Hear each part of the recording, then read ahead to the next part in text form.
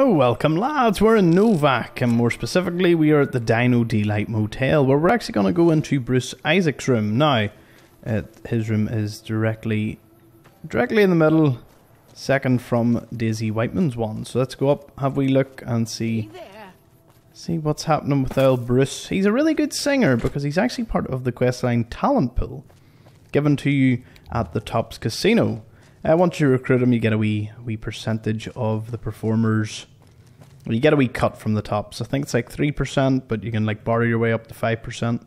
He appears to be working on his motorcycle, although hate to tell him there's no working vehicles in this game without mods. So if you mod, maybe his project here might. Uh, he's using some turpentine. He's got tie rod iron, a motorcycle gas tank, and a handbrake. Yeah, he's, he seems to be just trying to fix up his wee motorbike. But you can chat away to him. There's a sensor module and a conductor that you can pick up, and basically everything in here you can pick up. He just doesn't seem to care. The bed, I ain't sleeping in the bed as well. Hello, Bruce. Oh, please don't kill me. I swear I'll have. Wait, you. You don't work don't for work Mr. for Bishop, do you? yeah, I do. Please, no. Oh, turned him hostile. right, well, that's that. I'm sure he won't fight me or anything.